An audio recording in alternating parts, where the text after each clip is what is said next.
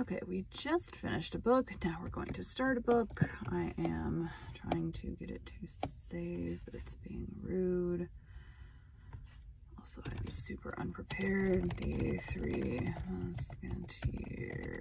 I don't have my folder for where to put my files open. Okay. The three presents of D A R T A G N A N the Elder D'Artagnan, and I only remember that because I've seen the movie. All right, so we've got our new book intro pulled up. Welcome to Bite at a Time Books, where we read you your favorite classics one bite at a time. My name is Bree Carlisle, and I love to read and wanted to share my passion with listeners like you. If you enjoy our show, be sure to follow us so you get all the new episodes. If you want to see exclusive behind the scenes of our show, join our Patreon. We would also love for you to drop us a rating on your favorite podcast platform and share our show with your friends. You can catch us on all the social medias at Bite at a Time Books. We are now part of the Bite at a Time Books Productions Network. If you ever wondered what inspired your favorite classic novelists to write their stories, what was happening in their lives or the world at the time, check out Bite at a Time Books Behind the Story, Tuesdays wherever you listen to podcasts. Today we will be starting The Three Musketeers by Alexandre Dumas.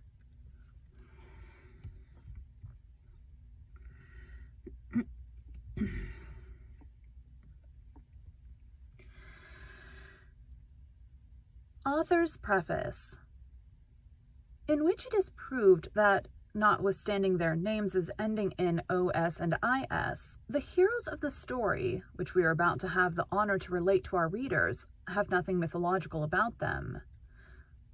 A short time ago, while making researches in the Royal Library for my history of Louis XIV, I stumbled by chance upon the memoirs of M. D'Artagnan, printed, as were most of the works of that period, in which authors could not tell the truth without risk of a residence, more or less long. It, uh,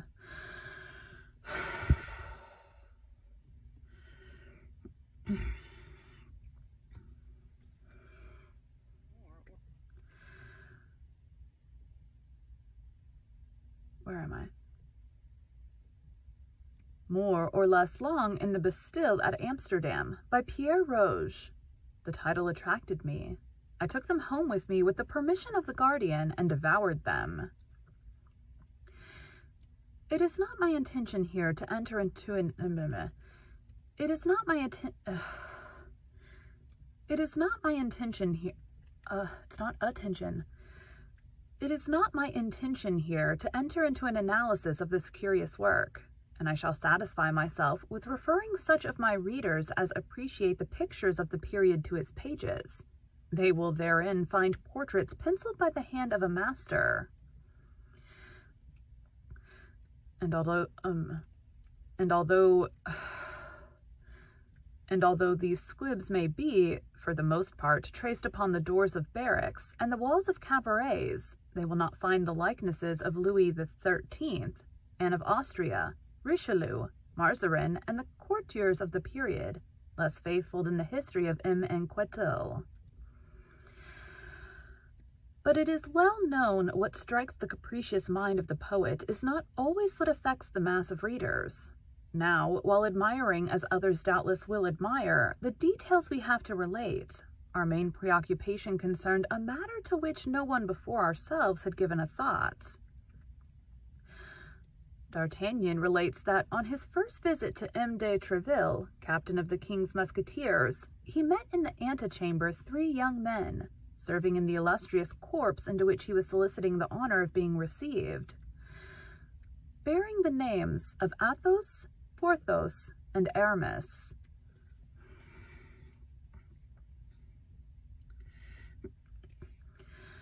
We must confess these three strange names struck us, and it immediately occurred to us that they were but pseudonyms, under which D'Artagnan had disguised names perhaps illustrious, or else that the bearers of these borrowed names had themselves chosen them on the day in which, from caprice, discontent, or want of fortune they had donned the simple musketeer's uniform. From that moment, we had no rest till we could find some trace in contemporary works of these extraordinary names which had so strongly awakened our curiosity. The catalogue alone of the books we read with this object would fill a whole chapter, which, although it might be very instructive, would certainly afford our readers but little amusement. It will suffice then to tell them that at the moment at which Discouraged by so many fruitless investigations, we were about to abandon our search. We at length found, guided by the counsels of our illustrious friend Paulin Paris, a manuscript in folio. Endorsed 4772 or 4773, we do not recollect which, having for title Memoirs of the Count de la Fère, touching some events which passed in France toward the end of the reign of King Louis XIII, and the commencement of the reign of King Louis XIV. We talked about those. Um, during Jane Eyre. I think it was the 13th. I don't know. Anyways. It may be easily imagined how great was our joy when, in turning over this manuscript, our last hope, we found at the 20th page the name of Athos, and at the 27th the name of Porthos. It may be easily imagined how great was our joy when, in turning over this manuscript, our last hope, we found at the 20th page the name of Athos, at the 27th the name of Porthos. What? Ugh.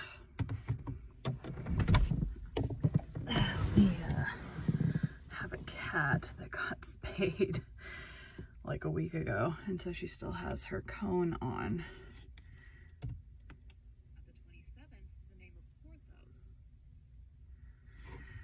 And she'd gotten her cone off of her head,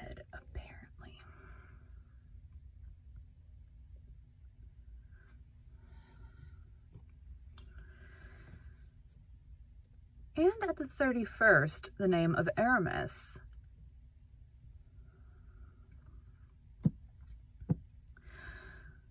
The discovery of a completely unknown manuscript, at a period in which historical science is carried to such high degree, appeared almost miraculous. We hastened, therefore, to obtain permission to print it, with the view of presenting ourselves some day with the pack of others at the door of the Académie des Inscriptionnistes at Belles Lettres, if we should not succeed, a very probable thing by the by, in gaining admission to the Académie Française.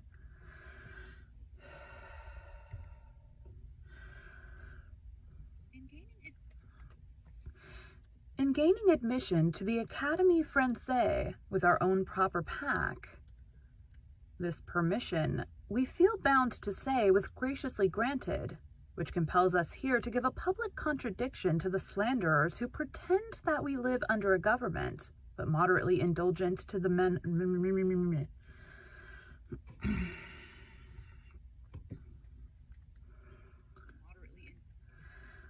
but moderately indulgent to men of letters.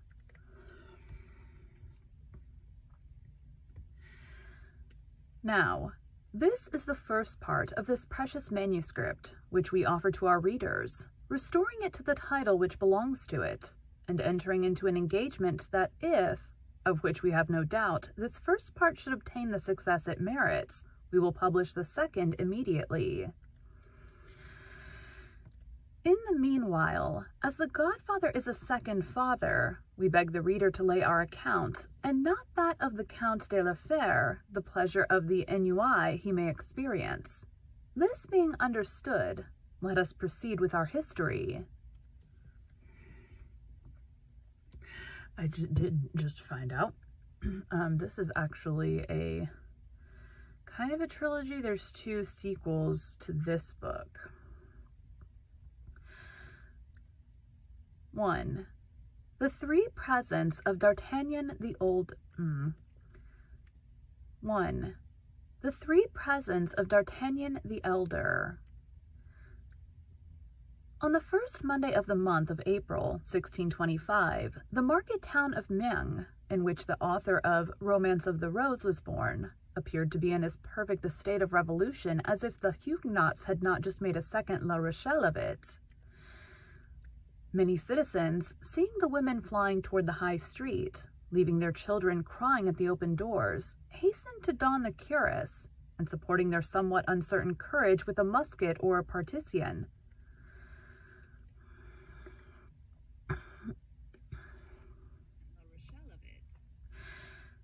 Many citizens, seeing the women flying toward the high street, leaving their children crying at the open doors, hastened to don the cuirass, and supporting their somewhat uncertain courage with a musket or a partisan, directed their steps toward the hostelry of the Jolly Miller, before which was gathered, increasing every minute a compact group. Voice vociferous and full of curiosity,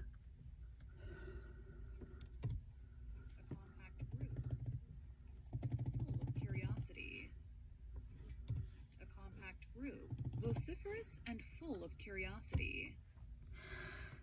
In those times, panics were common, and few days passed without some city or other registering in its architecture. Uh, architect, no. In those times, panics were common, and a few days passed without some city or other registering in its archives an event of this kind. There were nobles who made war against each other. There was the king who made war against the cardinal. There was Spain, which made war against the king. Then, in addition to these concealed or public, secret or open wars, there were robbers, mendicants, Huguenots, wolves, and scoundrels who made war upon everybody. The, citizens always took up arms readily against thieves, wolves, or scoundrels, often against nobles or Huguenots, sometimes against the king, but never against the cardinal or Spain. It resulted, then, from this habit that on the said first Monday of April 1625, the citizens on hearing the clamor and seeing neither the red and yellow standard nor mm, or Spain. It resulted then from this habit that on the said first Monday of April 1625, the citizens, on hearing the clamor and seeing neither the red and yellow standard nor the livery of the Duc de Richelieu, rushed towards the hostel of the Jolly Miller. When arrived there, the cause of the hubbub was apparent to all. A young man, we can sketch his portrait at a dash, Imagine to yourself a Don Quixote of 18, a Don Quixote without his corselet, without his coat of mail, without his cuisses, and Don Quixote clothed in a woolen doublet, the blue color of which had faded into a nameless shade between less of wine and a heavenly azure, face long and brown. High cheekbones, a sign of sagacity, the maxillary muscles enormously developed, an infallible sign by which a Gascon may always be detected, even without his cap. And our young man wore a cap set off with a sort of feather, the eye open and intelligent, the nose hooked but finely chiseled. Too big for a youth, too small for a grown man. An experienced eye might have taken him for a farmer's son upon a journey had it not been for the long sword which, dangling from a leather baldric, hit against the calves of his owner as he walked, and against the rough side of his steed when he was on horseback. For our young man, uh, let me listen to make sure that gap's I may have to shorten it. Of his owner as he walked, and against the rough side of his steed when he was on horseback. For our young man had a steed which was the observed of all observers. It was a Béarn pony, from 12 to 14 years old, yellow in his hide without a hair in his tail, but not without windgalls on his legs, which, though going with his head lower than his knees, rendering a martingale quite unnecessary, contrived nevertheless to perform his eight leagues a day. Unfortunately, the qualities of this horse were so well concealed under his strange colored hide and his unaccountable gait that at a time when everybody was a connoisseur in horseflesh, the appearance of the aforesaid pony at Meung, which place he had entered about a quarter of an hour before by the gate of Beaugency, produced an unfavorable feeling, which extended to his rider and this feeling had been more painfully perceived by young D'Artagnan, for so was the Don Quixote of the second Rocinante named from his not being able to conceal from himself the ridiculous appearance that such a steed gave him, good horseman as he was. He's, he had sighed deeply, therefore, when accepting the gift of the pony from M. D'Artagnan the elder, he was not ignorant that such a beast was worth at least twenty livers, and the words which had accompanied the present were above all price. Livers or livres? That's not what I want.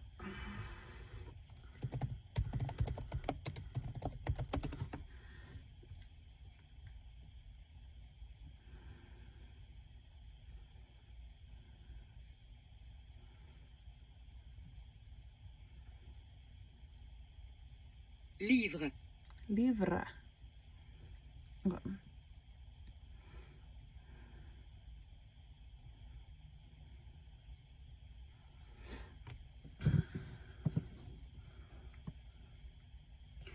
Oh, you gotta click on the right thing. Okay, undo what I just did, go to the end, see where I stopped.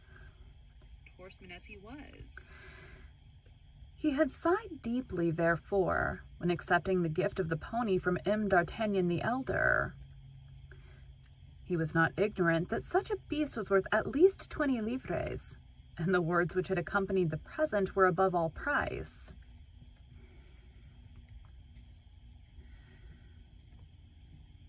My son, said the old Gascon gentleman in that pure Béarn patois of which Henry IV could never rid himself, this horse was born in the house of your father about thirteen years ago, and has remained in it ever since, which ought to make you love it. Never sell it.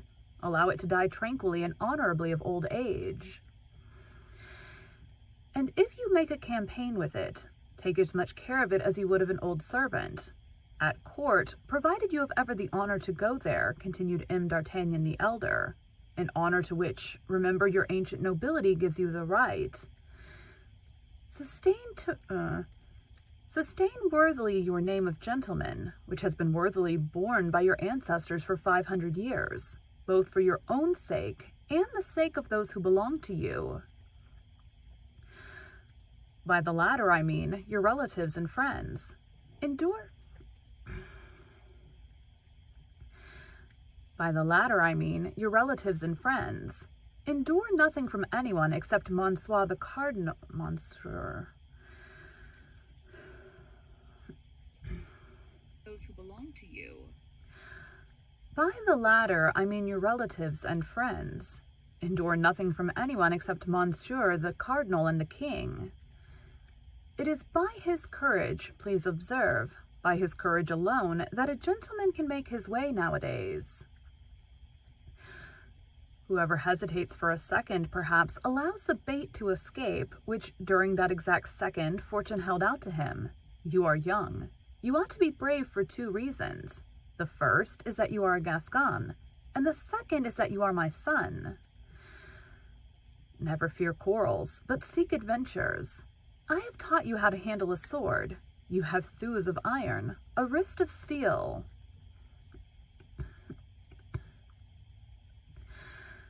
Fight on all occasions. Fight the more for duels being forbidden, since consequently there is twice as much... Mm. of steel. Fight on all occasions. Fight the more for duels being forbidden, since consequently there is twice as much courage in fighting.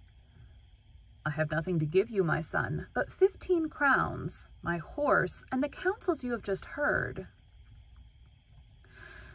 Your mother will add to them a recipe for a certain balsam, which she had from a Bohemian, and which has the miraculous virtue of curing all wounds that do not reach the heart. Take advantage of all, and live happily and long. I have but one word to add, and that is to propose an example to you, not mine, for I myself have never appeared at court, and have only taken part in religious wars as a volunteer. I speak of Monsieur de Treville, who was formerly my neighbor, and who had the honor to be, as a child, the playfellow of our king, Louis XIII, whom God preserve. Sometimes their play degenerated into battles, and in these battles the king was not always the stronger. This is a long paragraph. Stronger. The blows which he received increased greatly his esteem and friendship for Monsieur de Treville. Afterward, Monsieur de Treville fought with others. In his first journey to Paris, five times, from the death of the late king till the young one came of age, without reckoning wars and sieges, seven times, and from that date up to the present day, a hundred times perhaps. So that in spite of edicts, ordinances, and decrees, there he is, captain of the musketeers, that is to say, chief of a legion of Caesars, whom the king holds in great esteem, and whom the cardinal dreads, he who dreads nothing, as it is said. Still further, Monsieur de Treville gains 10,000 crowns a year. He is therefore a great noble. He began as you begin. Go to him with this letter and make him your model in order that you may do as he has done. Upon which M. d'Artagnan the elder girded his own sword round his son, kissed him tenderly on both cheeks, and gave him his benediction. On leaving the paternal chamber, the young man found his mother, who was waiting for him with the famous recipe of which the counsels we have just repeated would necessitate frequent employment. The adieux were on his the adieux were on this side longer and more tender than they had been on the other. Not that M. d'Artagnan did not love his son, who was his only offspring, but M. d'Artagnan was a man, and he would have considered it unworthy of a man to give way to his feelings.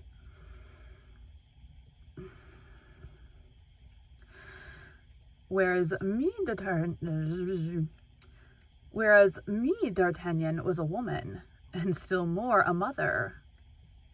She wept abundantly, and let us speak it to the praise of M. D'Artagnan the younger, notwithstanding the efforts he made to refrain.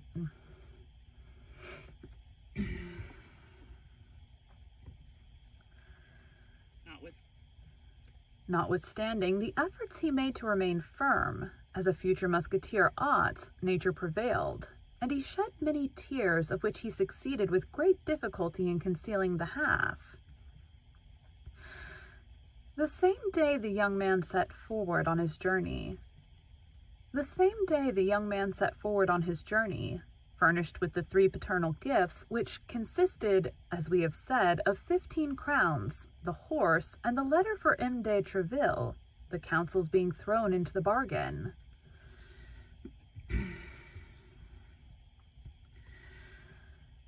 With such a vade mecum, D'Artagnan was morally and physically an exact copy of the hero of Cervantes, to whom we so happily compared him when our duty of a historian placed us under the necessities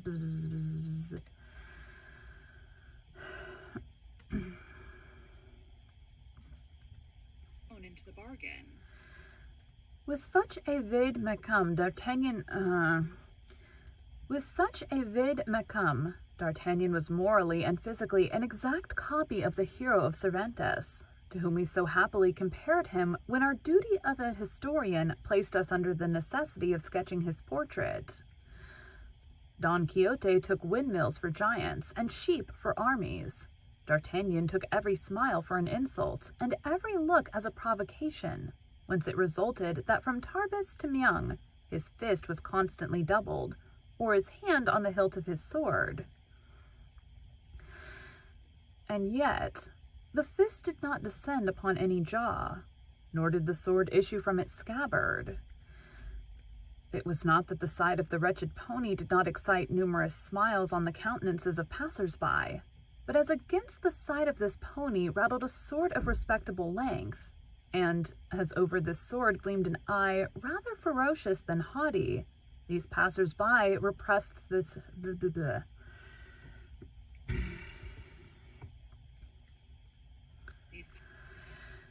These passers-by repressed their hilarity, or if hilarity prevailed over prudence, they endeavored to laugh only on one side, like the masks of the ancients. D'Artagnan then remained majestic and intact in his susceptibility till he came to this unlucky city of Meung.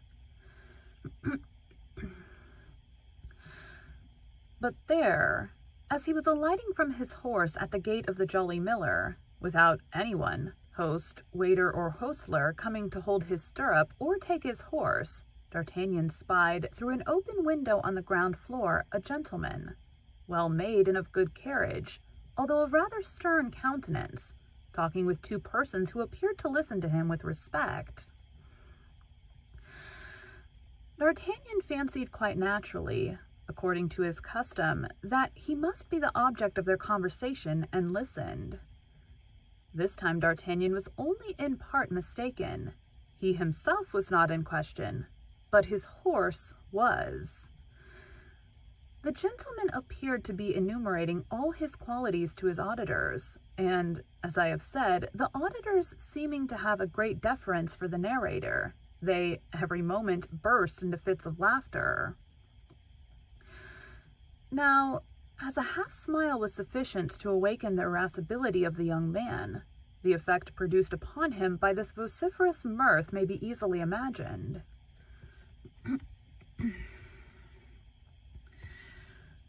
Nevertheless, D'Artagnan was desirous of examining the appearance of this impertinent personage, who ridiculed him.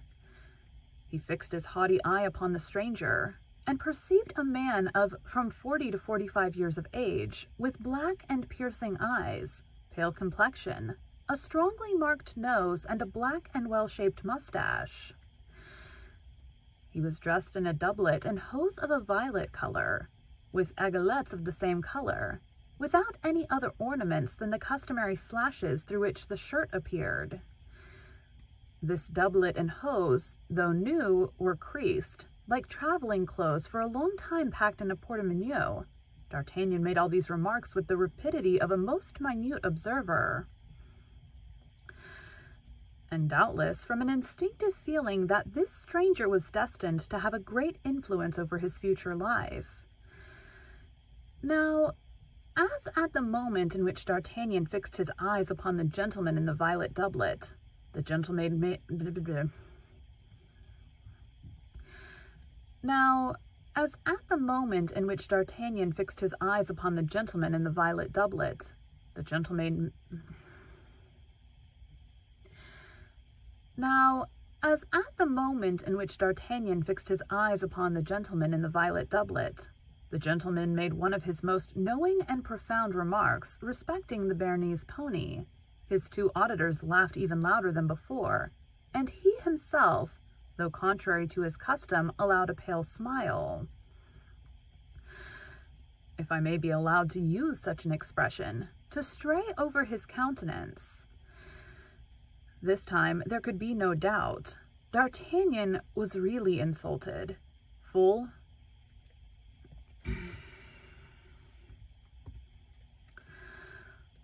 Full then of this conviction, he pulled his cap down over his eyes, and endeavoring to copy some of the court airs he had picked up in Gascony among young traveling nobles, he advanced with one hand on the hilt of his sword, and the other resting on his hip.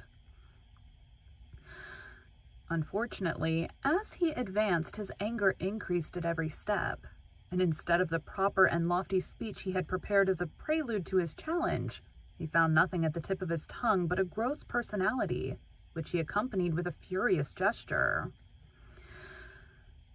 I say, sir, I say, sir, you, sir, who are your not my day. I say, sir, you, sir, who are you hiding yourself behind that shutter?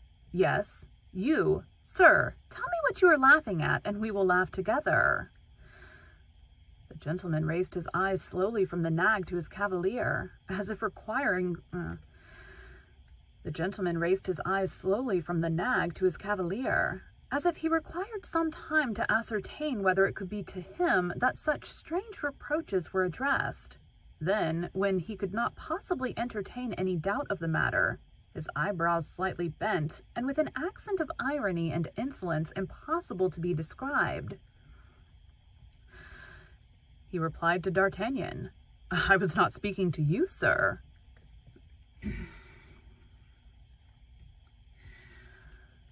But I am speaking to you, replied the young man, additionally exasperated with this mixture of insolence and good manners, of politeness and scorn.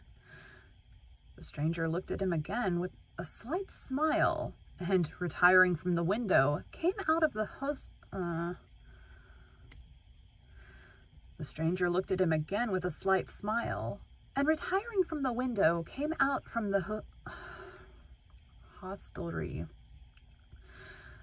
The stranger looked at him again with a slight smile, and retiring from the window, came out of the hostelry with a slow step, and placed himself before the horse within two paces of D'Artagnan. His quiet manner and the ironical expression of his countenance redoubled the mirth of the persons with whom he had been talking, and who still remained at the window. D'Artagnan, seeing him approach, drew his sword a foot out of the scabbard. This horse is decidedly, or rather has been in his youth, a buttercup, resumed the stranger, continuing the remarks he had begun, and addressing himself to his auditors at the window, without paying the least attention to the exasperation of D'Artagnan, who, however, placed himself between him and them. It is a color very well known in botany, but till the present time very rare among horses. There are people who laugh at the horse that would not dare to laugh at the master. There are people who laugh at the horse that would dare not... There are people who laugh at the horse that would not dare to laugh at the master, cried the young emulator of the furious Tréville. I do not often laugh, sir, replied the stranger, as you may perceive by the expression of my countenance. But nevertheless, I retain the privilege of laughing when I please. And I, cried D'Artagnan, will allow no man to laugh when it displeases me. Indeed, sir, continued the stranger, more calm than ever. Well, that is perfectly right. And turning on his heel, was about to re-enter the host... Uh, hostelry. And turning on his heel, was about to re-enter the hostelry by the front gate, beneath which D'Artagnan, on arriving, had observed a saddled horse. But D'Artagnan was not of a character to allow a man to escape him thus, who had the insolence to ridicule him. He drew his sword entirely from the scabbard, and following him, crying, Turn, turn, master joker, lest I strike you behind. That sounds stupid. Strike me, said the other, turning on his heels and surveying the young man with as much astonishment as contempt. Why, my good fellow, you must be mad. Then, in a suppressed tone as if speaking to himself, This is annoying, continued he. What a godsend this would be for his majesty, who is seeking everywhere for brave fellows to recruit for his musketeers. He had scarcely finished when D'Artagnan made such a furious lunge at him that if he had not sprung nimbly backward, it is probable he would have been... He had scarcely finished when D'Artagnan made such a furious lunge at him that if he had not sprung nimbly backwards, nimbly... He had scarcely finished when D'Artagnan made such a furious lunge at him that if he had not sprung nimbly backwards, it is probable he would have jested for the last time. The stranger, then perceiving that the matter went beyond raillery, drew his sword saluted his adversary, and seriously placed himself on guard. But at the same time, uh, but at the same moment, his two auditors, accompanied by the host, fell upon D'Artagnan with sticks, shovels, and tongs. This caused so rapid and complete a diversion from the attack that D'Artagnan's adversary, while the latter turned round to face the shower of blows, sheathed his sword with the same precision, and instead of an actor, which he had nearly been, became a spectator of the fight. A part in which he a part in which he acquitted himself with his usual impassiveness, muttering nevertheless, A plague upon these Gascons! Replace him on his orange horse and let him be gone. Not before I have killed you, poltroon, cried D'Artagnan, making the best face possible, and never retreating one step before his three assailants, who continued to shower blows upon him. Another Gasconade, murmured the gentleman. By my honor, these Gascons are incorrigible. Keep up the dance, then, since he will have it so. When he is tired, he will perhaps tell us that he has had enough of it. But the stranger knew not the headstrong personage he had to do with. But the stranger knew not the headstrong personage he had to do with.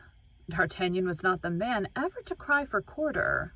The fight was therefore prolonged for some seconds, but at length D'Artagnan dropped his sword, which was broken in two pieces by the blow of a stick. Another blow full upon his forehead at the same moment brought him to the ground, covered with blood and almost fainting. It was at this moment that people came flocking to the scene of action from all sides. The host, fearful of consequences, with the help of his servants, carried the wounded man into the kitchen, where some trifling attentions were bestowed.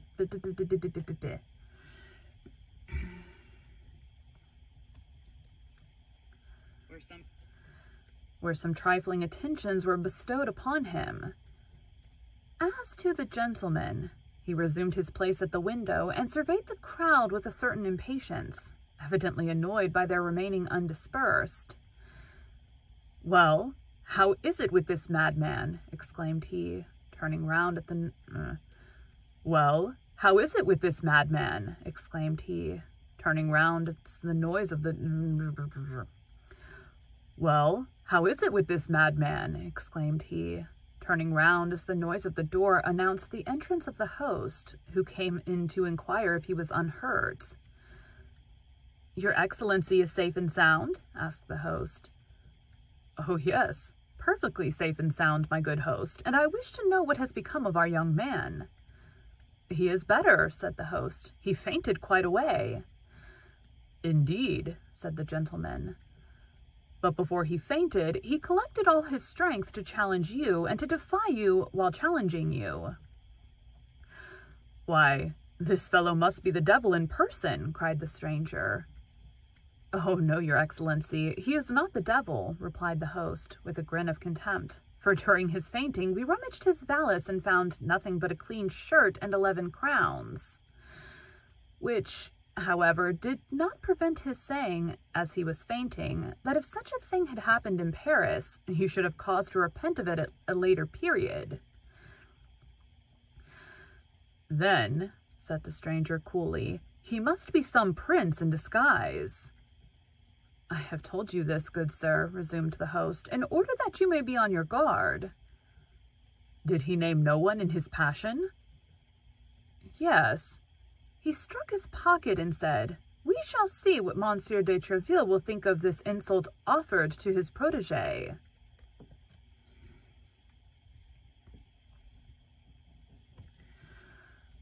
Monsieur...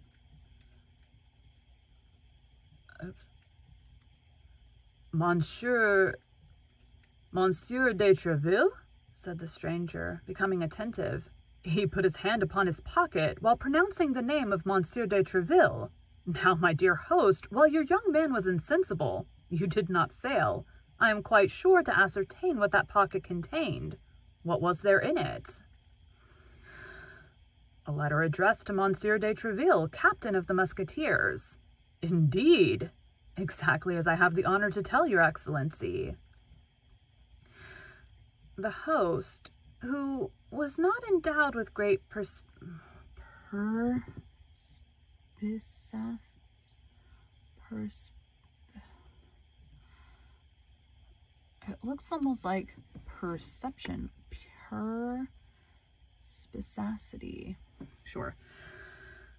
The host, who was not endowed with great perspicacity, did not observe the expression which his words had given to the physiognomy of the stranger. The latter rose from the front of the window, upon the sill of which he had leaned with his elbow, and knitted his brow like a man disquieted. The devil, murmured he, between his teeth. Can Tréville have set this Gascon upon me? He is very young, but a sword thrust is a sword thrust, whatever be the age of him who gives it, and a youth is less to be suspected than an older man. And the stranger fell into a reverie, which lasted some minutes. A weak obstacle is sometimes sufficient to overthrow a great design. Host, said he, could you not contrive to get rid of this frantic boy for me? In conscience, I cannot kill him.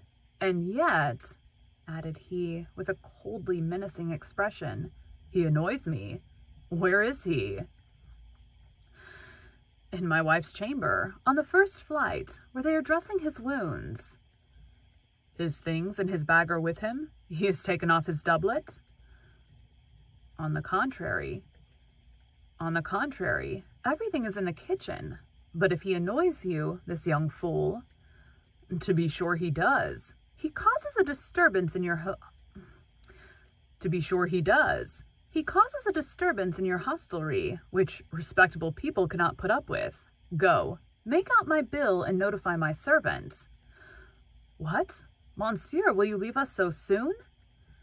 You know that very well, as I gave my order to saddle my horse. Have they not obeyed me? Probably not. It is done, as your excellency may have observed. Your horse is in the great gateway, ready saddled. It is done. As your excellency may have observed, your horse is in the great gateway, ready saddled for your departure. That is well. Do as I have directed you, then. What the devil, said the host to himself. Can he be afraid of this boy? But an imperious glance from the stranger stopped him short. He bowed humbly and retired. It is not necessary for Milady to be seen by this fellow, continued the stranger. She will soon pass. She is already late. I had better get on horseback and go and meet her. I should like, however, to know what this letter addressed to Tréville contains. And the stranger, muttering to himself, directed his steps toward the kitchen. We are well aware that this term, Milady, is only properly used when followed by a family name, but we find it thus in the manuscript, and we do not choose to take upon ourselves to alter it. Oh, there's an asterisk next to it. In the meantime, the host, who entertained no doubt that it was the presence of the young man that drove the stranger from his hostelry, reascended to his wife's chamber and found D'Artagnan just recovering his senses. Let me see how much longer is left. Good grief quite a bit. Back to um I don't think I have enough time to finish. I probably need to stop, which means this is gonna be a three video thing. Um, let me undo the part that I just did so I can start at the beginning of a paragraph. And we do not choose to take upon ourselves to alter it. Yeah, there we go. Okay. Um, I don't have enough time to finish this because it's a longer chapter, so I'll finish it when I'm, I'm done tonight. Thanks, guys. All right, take three for this, this thing. Pretty sure this is where I stop. And we do not choose to take upon ourselves to alter it. if I remember correctly, I was almost done with this. I had to heat my tea back up from uh, I was doing auditions earlier. Still pretty warm. I didn't do a few. There were some that were um, questionable books, so I did not do those. In the meantime, the host, who entertained no doubt that it was the presence of the young man that drove the stranger from his hostelry, in the meantime, The host, who entertained no doubt that it was the presence of the young man that drove the stranger from his hostelry, reascended to his wife's chamber and found D'Artagnan just recovering his senses, giving him to understand that the police would deal with him pretty severely for having sought a quarrel with a great lord, for, in the opinion of the host, the stranger could be nothing less than a great lord. He insisted that notwithstanding his weakness, D'Artagnan should get up and depart as quickly as possible. D'Artagnan, half stupefied, without his doublet and with his head bound up in a linen cloth, arose then, and, urged by the host, began to descend the stairs. But on arriving at the kitchen, the first thing he saw was his antagonist, talking calmly at the step of a heavy carriage, drawn by two large Norman horses. This next word must have been common interlocutor. His interlocutor, whose head appeared through the carriage window, was a woman of from twenty to two and twenty years. I hadn't ever heard of that word. I had it on a narration job. And I'm like, what is that word? I had to look it up to know how to say it because um, I'd never seen that word before. We have already observed with what rapidity D'Artagnan seized the expression of a countenance. He perceived then, at a glance, that his woman was young and beautiful, and not his woman. Years. We have already observed with what rapidity D'Artagnan sees the expression of a countenance. He perceived then, at a glance, that this woman was young and beautiful, and her style of beauty struck him more forcibly from its being totally different from that of the southern countries, in which D'Artagnan had hitherto... running out of air. Countenance. He perceived then, at a glance, that this woman was young and beautiful, and her style of beauty struck him more forcibly from its being totally different from that of the southern countries in which D'Artagnan had hitherto resided. She was pale and fair, with long curls falling in profusion over her shoulders, had large, blue, languishing eyes, rosy lips, and hands of alabaster. She was talking with great animation with the stranger. His Eminence, then, orders me, said the lady.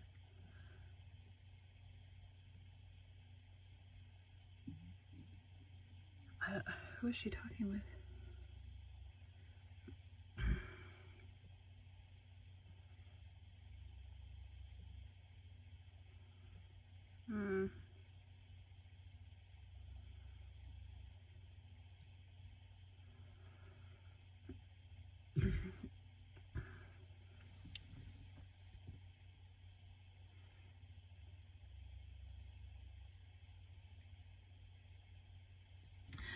Oh, it's she's talking to that the dude. Okay. I was trying to figure out who she was talking to. Orders me, said the lady. To return instantly to England, and to inform him as soon as the Duke leaves London. And as to my other instructions? asked the fair traveller. They are contained in this box, which you will not open until you are on the other side of the channel. Very well. And you? What will you do? I... I return to Paris. What? Without chastising this insolent boy? asked the lady. The stranger was about to reply, but at the moment he opened his mouth, D'Artagnan, who had heard all, precipitated himself over the threshold of the door.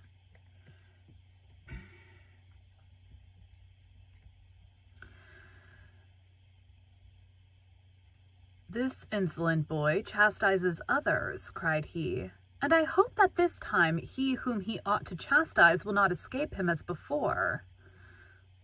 Will not escape him? replied the stranger, knitting his brow. No, before a woman you would dare not fly, I presume. Remember, said Milady, seeing the stranger lay his hand on his sword, the least delay may ruin everything. You are right, cried the gentleman. Begone, then, on your part, and I will depart as quickly on mine. And bowing to the lady, he sprang into his saddle, while her coachman applied his whip vigorously to his horses. The two interlocutors thus separated, taking opposite directions at full gallop. Pay him, booby, cried the stranger to his servant, without checking the speed of his horse. And the man, after throwing two or three silver pieces at the foot of mine host, galloped after his master. Base coward! False gentleman! cried D'Artagnan, springing forward in his turn after the servant. But his wound had rendered him too weak to support such a... Mm.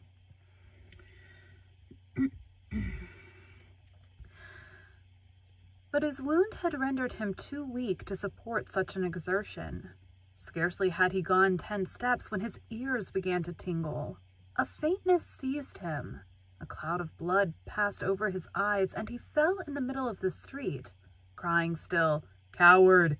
Coward! Coward! He is a coward indeed, grumbled the host, drawing near to D'Artagnan and endeavoring by this little flattery to make up matters with the young man, as the heron of the fable did with the snail he had despised the evening before. Yes, a base coward, murmured D'Artagnan, but she, she was very beautiful. What she? demanded the host. Milady, faltered D'Artagnan, and fainted a second time. Ah, it's all one, said the host. I have lost two customers, but this one remains of whom I am pretty certain for some days to come there will be eleven crowns gained. It is to be remembered that eleven crowns was just the sum that remained in D'Artagnan's purse.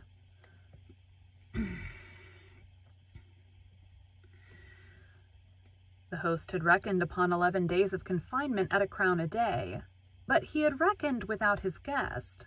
On the following morning at five o'clock, D'Artagnan arose, and descending to the kitchen without help, asked, among other ingredients, the list of which has not come down to us, for some oil, some wine, and some rosemary.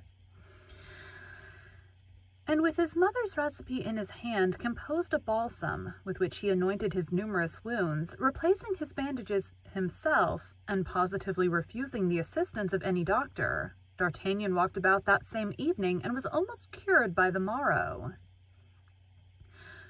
But when the time came to pay for his rosemary, this oil and the wine, the only expense the master had incurred, as he had preserved a strict abstinence, while on the contrary, the yellow horse, by the account of the hostler at least, had eaten three times as much as a horse of his size could reasonably be supposed to have done.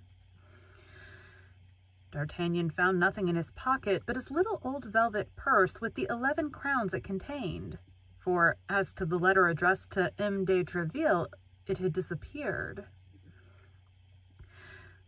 The young man commenced his search for the letter with the greatest patience turning out his pockets of all kinds over and over. The young man commenced his search for the letter with the greatest patience, turning out his pockets of all kinds over and over again, rummaging and re-rummaging in his valise, and opening and reopening his purse. But when he found that he had come to the conviction that the letter was not to be found, he flew for the third time into such a rage as would near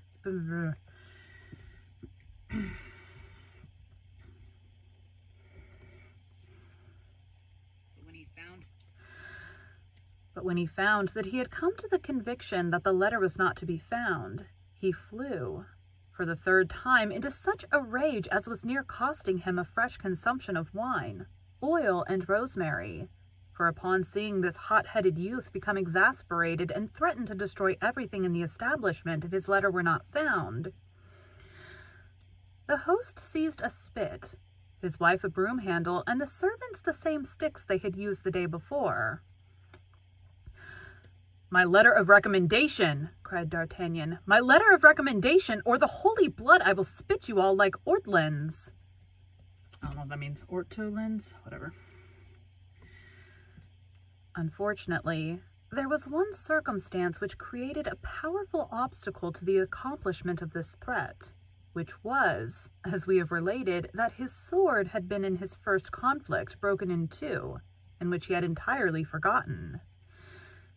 Hence, it resulted when D'Artagnan proceeded to draw his sword in earnest, he found himself purely and simply armed with a stump of a sword, about eight or ten inches in length, which the host had carefully placed in the scabbard.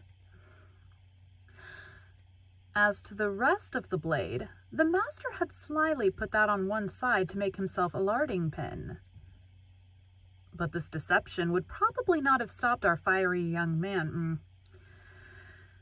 But this deception would probably not have stopped our fiery young man if the host had not reflected that the reclamation which his guest made was perfectly just. But after all, said he, lowering the point of his spit, where is this letter? Yes, where is this letter? cried D'Artagnan. In the first place, I warn you that that letter is for Monsieur de Treville, and it must be found, or if it is not found, he will know how to find it.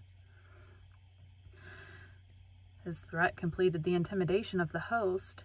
After the king and the cardinal, M. de Treville was the man whose name was perhaps most frequently repeated by the military, and even by citizens. There was, to be sure, Father Joseph, but his name was never pronounced but with a subdued voice. Such was the terror inspired by his grey eminence, as the cardinal's familiar was called.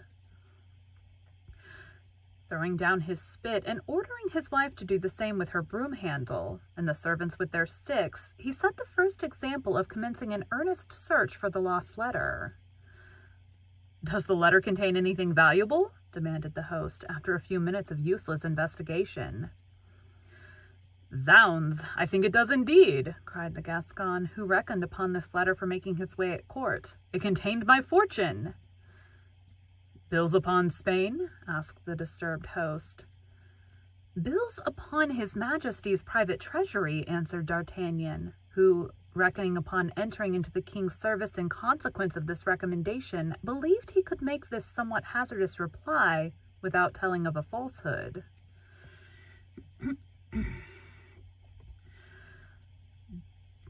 the devil! cried the host at his wit's end. But it's of no importance, continued D'Artagnan, with natural assurance. It's of no importance. The money is nothing. That letter was everything. I would rather have lost a thousand pistoles than have lost it. He would not have risked more if he had said twenty thousand, but a certain juvenile modesty restrained.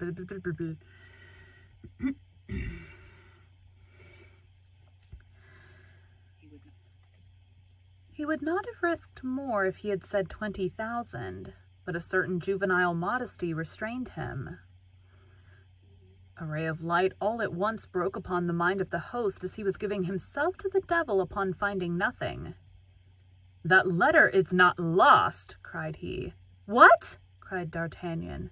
No, it has been stolen from you. Stolen? By whom? By the gentleman who was here yesterday. He came down into the kitchen, where your doublet was. He remained there some time alone. I would lay a wager he has stolen it. Do you think so? answered D'Artagnan, but little convinced, as he knew better than anyone else how entirely personal the value of this letter was, and saw nothing in it likely to tempt cupidity. The fact what... Drink.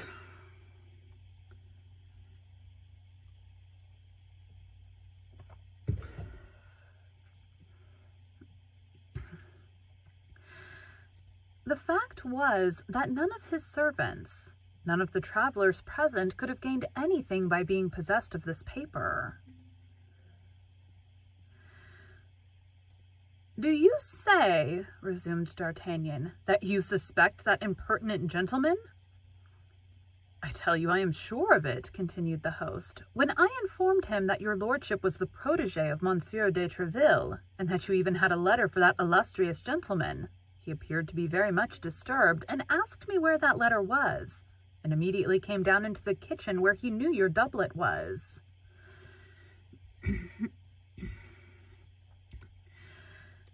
Then that's my fief, replied D'Artagnan. I will complain to Monsieur de Treville, and Monsieur de Treville will complain to the king. He then drew two crowns majestically from his purse and gave majest yeah. He then drew two crowns majestically from his purse and gave them to the host, who accompanied him, cap in hand, to the gate, and remounted his yellow horse, which bore him without any further accident to the gate at Saint Antoine at Paris, where his owner sold him for three crowns, which was a very good price, considering that D'Artagnan had ridden him hard during the last stage. Thus the dealer to whom D'Artagnan sold him for the nine livres did not conceal from the young man that he only gave that enormous sum for him on the account of the originality of his color. Thus, D'Artagnan entered Paris on foot, carrying his little packet under his arm, and walked about till he found an apartment to be let on terms suited to the scantiness of his means. This chamber was a sort of garret, situated in the Rue des Fossoyeurs, near the Luxembourg.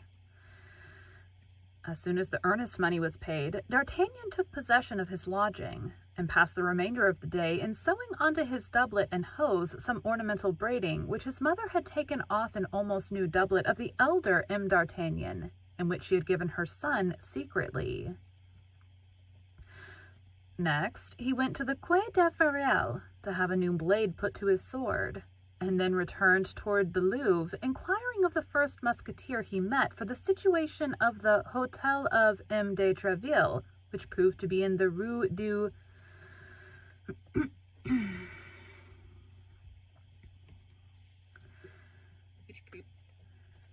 Rue du Voie Colombier, which proved to be in the Rue du Vieux Colombier, that is to say, in the immediate vicinity of the chamber hired by D'Artagnan, a circumstance which appeared to furnish a happy augury for the success of his journey. After this, satisfied with the way in which he had conducted himself at Meung, without remorse for the past, confident in the present, and full of hope for the future, he retired to bed and slept the sleep of the brave. This sleep provincial as it was, brought him to nine o'clock in the morning, at which hour he rose, in order to repair to the residence of M. de Treville, the third personage in the kingdom in the paternal estimation. That should be the end of that chapter. Yep.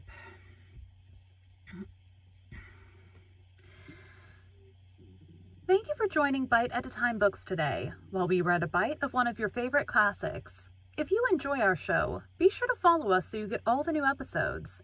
If you want to see exclusive behind the scenes of our show, join our Patreon.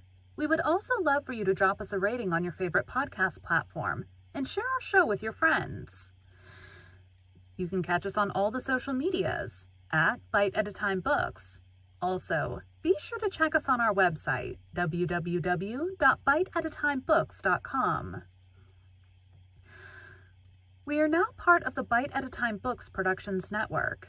If you ever wondered what inspired your favorite classic novelists to write their stories, what was happening in their lives or the world at the time, check out Bite at a Time Books Behind the Story, Tuesdays wherever you listen to podcasts. Again, my name is Bree Carlisle, and I hope you come back tomorrow while we take the next bite of the Three Musketeers.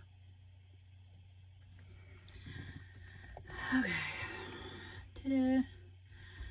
All right, I need to see this decided. All right, thank you.